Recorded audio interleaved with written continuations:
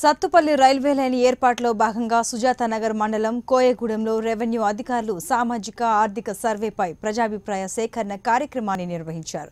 భూమిని కోల్పోయిన రైతులు తమ భూమికి రెండేళ్ళ క్రితం ఇచ్చిన పరిహారం ఇప్పుడు అంతే ఇస్తామని రైల్వే అధికారులు తెలిపారు. అయితే అప్పటికి ఇప్పటికి చాలా మార్పులు వచ్చాయని బయట భూములు కొనే పరిస్థితి లేదని పరిహారం పెంచి ఇవ్వాలని రైతులు కోరారు. రైల్వే లైన్ అవతల కూడా తమ భూముల్లోకి వెళ్ళేందుకు సబ్వే నిర్మించాలని కోరారు. దీనిపై స్పందించిన అడిషనల్ కలెక్టర్ అనుదీప్ రైతులకు న్యాయం జరిగేలా చూడాలని రైల్వే అధికారులను కోరారు. దీనికి సానుకూలంగా రైల్వే అధికారులు స్పందించారు.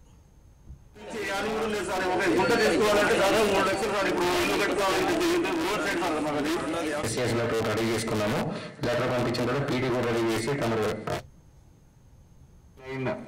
ఏదైతే మనకి ప్లానింగ్ మీద ల్యాండ్ ఎక్విజిషన్ జరుగుతున్నదో దాని మీద ఇవాళ ఒక గ్రామ సభ కండక్ట్ చేద్దాం సార్ మనము వారి యొక్క దరఖాస్తులు వారి యొక్క ఫామ్ని తీసుకొని చేద్దామని అంటే వెంటనే యాక్సెప్ట్ చేయడం జరిగింది.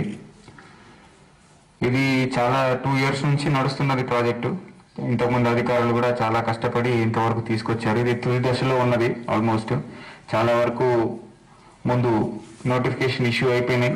ఇప్పుడు పీడీ చేసి వాళ్ళ యొక్క అవార్డు పాస్ చేసేసి రైతుల దగ్గర నుంచి వారి యొక్క కంపెన్సేషన్ ఎంతైతే డబ్బులు ఫిక్స్ చేయడం జరుగుతుందో అంత ఇచ్చేసి ల్యాండ్ అక్వైర్ చేస్తే ప్రాజెక్టు మనకు మొదలవుతుంది. అయితే ఇందులో గ్రామస్తులందరికీ ఒక విషయం చెప్పాలనుకుంటున్నాం.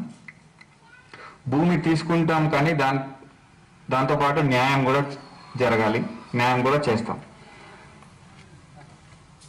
రైల్వే డిపార్ట్మెంట్కి భూమి కావాలి గ్రామస్తుల దగ్గర నుంచి భూమి తీసుకుంటున్నారు.